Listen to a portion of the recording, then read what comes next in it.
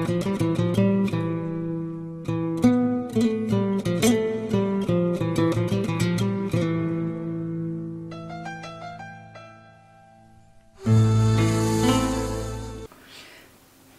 akşamlar çocuklar. Merhaba. Hazır mıyız hikayemizi dinlemeye? Haydi başlayalım. Hikayemizin adı Dilini Tutan Kurtuldu. Erdem eve girip çıkan teyzeleri tanırdı. Bugün annesine daha önce görmediği bir teyze gelmişti. Mahalleden de değildi. Kadın kendini tanıştırdı. Ulviye Hanım, merhaba ben Zekiye Hanım. Karşı mahallede oturuyorum. Beş ay önce oğlumu evlendirdim. Gelinimle ama her gün kavga ediyorum. Senin dündar bir kadın olduğunu söylediler. İşte sana geldim.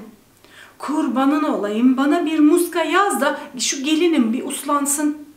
Her seferinde kavga gürültü çıkartmasın. Usandım bıktım artık. Ulviye Hanım Zekiye Hanım'a ince, nazik ve güzel sözlerle hoş geldiniz dedikten sonra ben muska falan yazamam deyip uzun uzadıya anlattıysa da Zekiye Hanım ne dinlemek ne de anlamak istedi. Sonunda Ulviye Hanım pes etti ve dedi ki tamam tamam size bir muska yazacağım ama harfiyen benim dediklerime uyacaksınız ve iki hafta sonra gelip bana durumu anlatacaksınız. Kabul ederseniz size bir muska yazarım dedi. Erdem kulaklarına inanamadı. Annesi Zekiye teyzeye muska yazacağını söylüyordu. Tamam dedi Zekiye teyze. Sen muska yaz da ben senin şartlarını kabul ediyorum her dediğini yaparım dedi. O halde bu yazdığım muskayı hep üzerinde taşıyacaksın. Her akşam muskanın sarılı olduğu naylonu tertemiz yıkayacaksın. Ne zaman gelinin ile kavga edeceğini hissettiği an, an bu muskayı dilinin altına koyacaksın. Ağzını sıkıca kapalı tutacaksın. Ağzını sıkıca kapalı tutacaksın.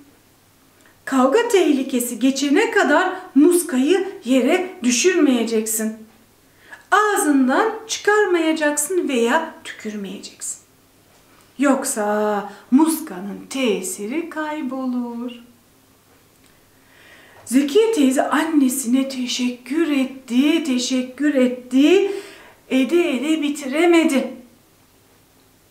Muskayı aldı ve heyecanla eve gitti.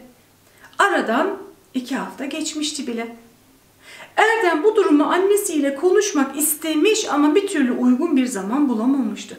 Çünkü Erdem'in daha önce annesinin hakkında hiç böyle bir şey görmediğini, duymadığını biliyordu. Annesi bir muska yazdı. Bu gerçek miydi acaba? Annesi de evde bu konuyu hiç açmamıştı. Kapının zili çalmış ve Erdem kapıyı açmıştı. Ling ling ling ling ling. Anne, Zekiye teyze geldi diye seslendi.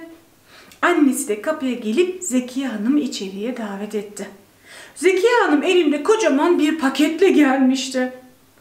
Ulviye Hanımcığım bu senin. Lütfen kabul et. Bir miktar çikolata ve biraz da baklava yaptırdım. Ağız tadı ile afiyetle yiyin istedim. Aa neden zahmet ettiniz Zekiye Hanımcığım dedi. Hiç gereği yoktu. Asıl gelininizle aranız nasıl ondan bahsedin dedi. Zahmet olur mu canım dedi. Siz benim ağzımın tadını yerine getirdiniz. Bu ne ki? Küçücük bir teşekkür sadece. Gelinimle aram bir iyi bir iyi Ulviye Hanım size anlatamam dedi. Ben de size bunu haber vermek için geldim dedi. Sizin reçetenizi aynen uyguladım Ulviye Hanımcığım. Gördüm ki ben konuşmayıp sakin kalınca gelinim bana karşı oldukça nazik ve saygılı oldu dedi. Siz bana ikili ilişkilerde dilini tutmanın, dile sahip çıkmanın ve nezaketin ne kadar önemli olduğunu öğrettiniz. Bunu gören Ulvi Hanım tabii ki çok memnun oldu ve birbirlerine sarıldılar. Wow dedi Erdem. Anneme bak sen. Erdem bu güzel manzara karşısında duygulanmış ama muziplik yapamadan da edememişti. Geldi sahi anne dedi. İki kadın birbirlerine bakarken sahi sen o muskaya tesirli böyle ne yazdın diye sordu. Evet. Bu hikayede de neyi gördük? Aslında çözüm ne kadar basitmiş değil mi? Birbirimize anlaşmazlık olduğu zaman diğerimiz susmayı bilse bu kadar kolay olacak her şey. Evet, bugünlük bu kadar. Size Allah'a emanet ediyorum. Hayırlı akşamlar diliyorum. Yarın yine görüşmek üzere. Selamun Aleyküm.